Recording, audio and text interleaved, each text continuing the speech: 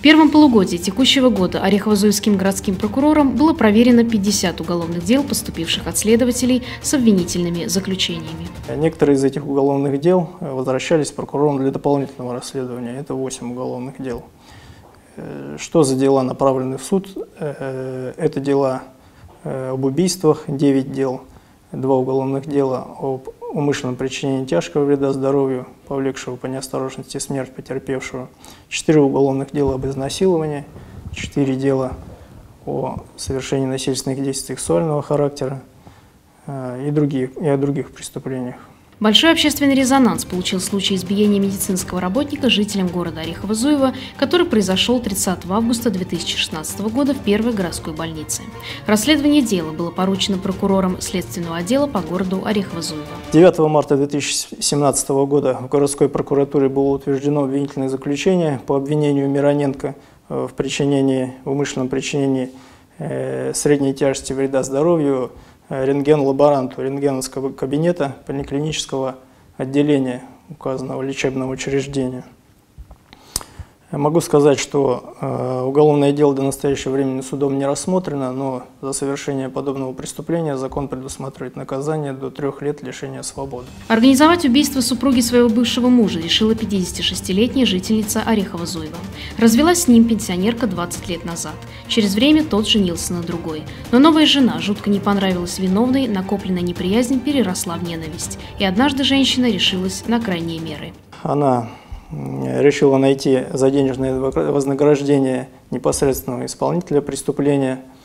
И сотрудники полиции, узнав о ее намерениях, э, решили проверить, действительно ли это так, насколько серьезны эти намерения.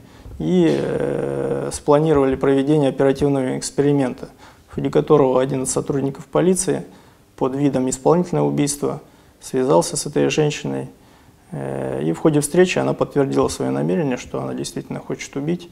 Э, значит, потерпевшую предложила за это 100 тысяч рублей.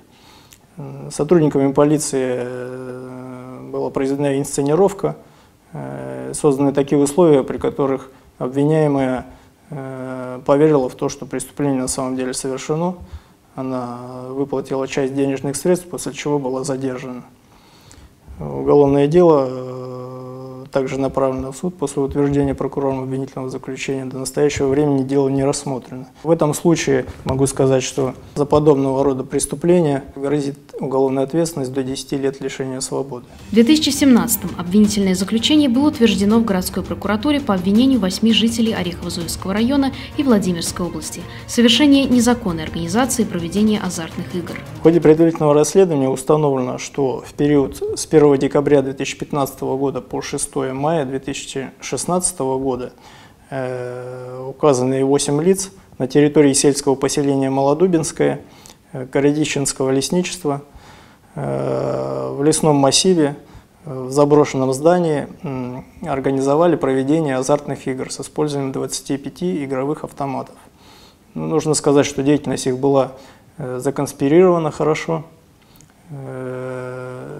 попасть в это игорное заведение можно было только по предварительному звонку, причем э, сами же участники группы приезжали за лицом, которое хотело э, поучаствовать в азартных играх, привозили его и увозили. То есть это было закрытое игорное заведение. В результате незаконной преступной деятельности эти лица извлекли доход чуть менее 4 миллионов рублей. Значит, э, эта группа была разоплачена, и 31 марта 2017 э, года уголовное дело направлено в суд. До настоящего времени оно также не рассмотрено, находится на рассмотрении. Э, всем участникам организованной группы грозит уголовная ответственность до 7 лет лишения свободы. Работа правоохранительных органов заслуживает положительной оценки по раскрытию тяжких и особо тяжких преступлений против личности. В этом периоде раскрываемость убийств составила 90%, изнасилований – 100%. Раскрываемость преступлений также 100%. Могу сказать, что положительным результатом э, в деятельности прокуратуры, ну и следственного отдела, я думаю, является то, что в текущем периоде – 2017 года нам удалось избежать вынесения судом оправдательных приговоров и возвращения уголовных дел прокурора для производства дополнительного расследования. Это определенный показатель нашей работы, качества нашей работы.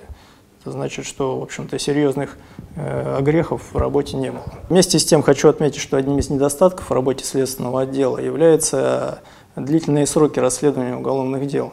Э, могу сказать, что 54% уголовных дел, расследованных следственным отделом, расследованы с нарушением предусмотренных законом сроков расследования. Причем большая часть таких дел расследованы срок свыше 6 месяцев. Мы считаем, что такая ситуация, в общем-то, недопустима, это слишком большие сроки.